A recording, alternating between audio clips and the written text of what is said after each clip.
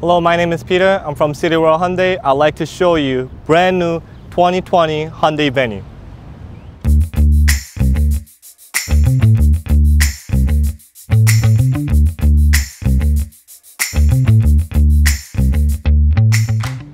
Let's start off the front of the vehicle.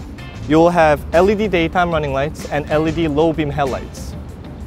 Let's talk about performance. This vehicle has 1.6 liter engine, has 121 horsepower with 113 pound-feet of torque.